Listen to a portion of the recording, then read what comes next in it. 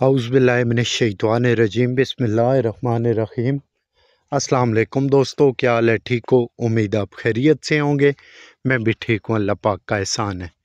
دوستو، میں آیا ہوں ضلع جہلم تحصیل پنڈ دادن خان۔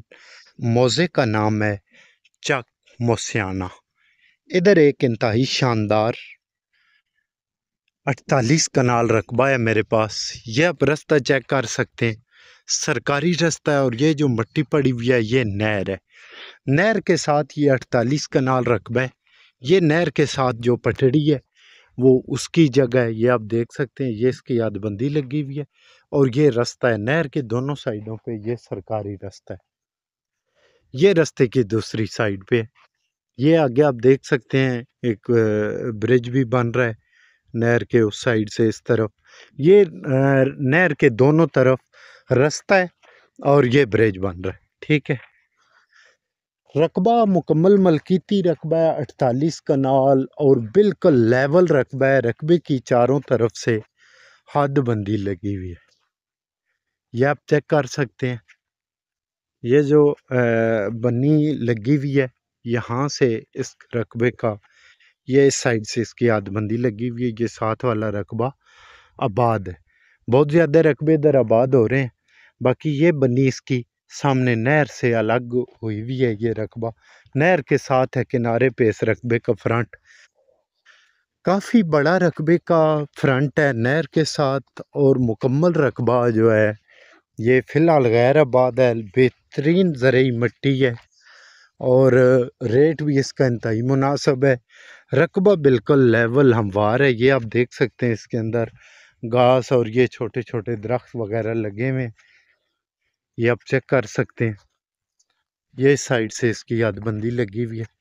آپ سب دوستوں سے ریکویسٹ ہے کہ میری ویڈیو کو لائک کریں، دوستوں کے ساتھ شیئر کریں، اور جو نئے دوست ہیں ان سے ریکویسٹ ہے کہ میرے چینل کو سبسکرائب کر لیں تاکہ اندہ آنے والی ویڈیو کا نوٹیفکیشن بر وقت آپ کو ملتا رہے۔ تو نہر کے ساتھ کافی بڑا اس کا فرنٹ ہے، تقریباً دو سو فٹ کے قریب اس رقبے کا فرنٹ ہے۔ بہت بڑا فرنٹ ہے۔ اٹھتالیس کنال یہ ملکیتی رقبہ ہے اور مکمل ہموار یہ رقبہ ہے۔ یہ آپ چیک کر سکتے ہیں۔ اس کے ساتھ ہی جو آباد رقبہ ہے وہ بھی میں آپ دوستوں کو چیک کرواتا چلوں۔ اس علاقے کی مٹی بھی آپ دوستوں کو چیک کرواتا چلوں۔ یہ آپ دیکھ سکتے ہیں۔ یہ اس کے ساتھ جو ملکہ رقبے ہیں سارے آباد رقبے ہیں۔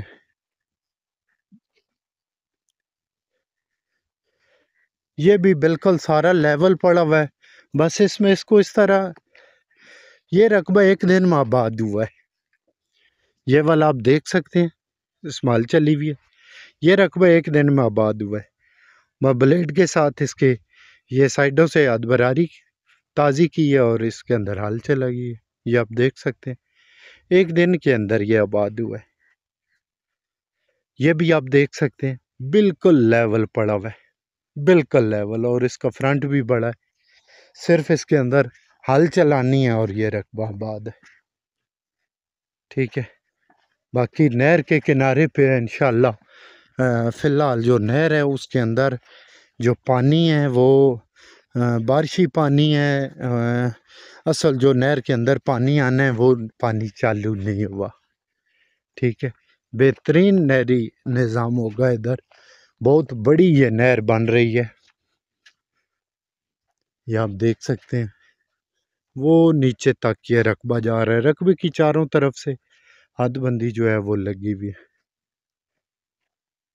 یہ آپ چیک کر سکتے ہیں۔ جو اس کی بیک سائڈ پہ، یہ بھی دیکھ سکتے ہیں نا آپ، اس کے اندر یہ ایک جگہ پہ حل لگی ہوئی ہے۔ ساتھ والوں نے اس کے اندر حل لگائی ہے اور اس کی مٹی آپ دیکھیں۔ ٹھیک ہے، یہ میں آپ کو چیک کرواتا چلوں۔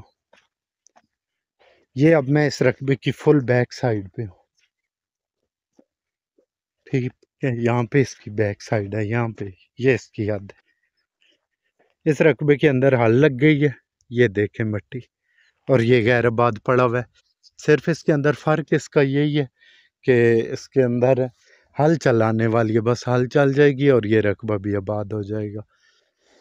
تو اب دوستو، اس کے ریٹ کی بات کرتے ہیں۔ اس کی جو مالکان کی ڈیمانڈ ہے وہ ہے ڈیڑھ لاکھ روپے پر کنال۔ اٹھتالیس کنال چک گئے۔